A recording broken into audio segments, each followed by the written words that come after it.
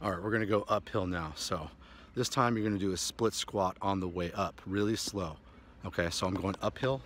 Notice how I'm touching my calf to my hamstring.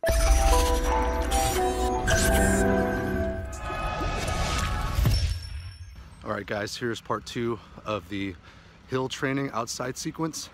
And what I'm doing right now is walking backwards downhill.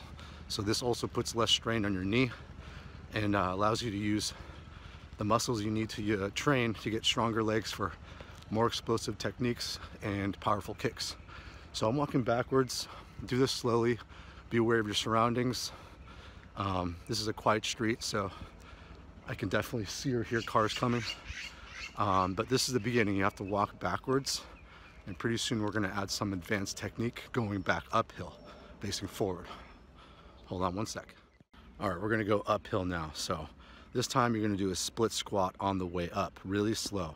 Okay, so I'm going uphill. Notice how I'm touching my calf to my hamstring and then I switch and do the other foot. You're gonna do this all the way up. and it's a really good workout. You're gonna feel it, definitely. Go nice and slow at first, nice and controlled. I'm bending my knee, touching my calf to my hamstring, and switching legs, like doing giant steps uphill. And then when you get all the way to the top, or wherever you wanna stop, you go backwards, downhill. And you rinse and repeat. Go backwards, downhill, split squat all the way uphill. All right, hope you enjoyed video two. Stay tuned for video three.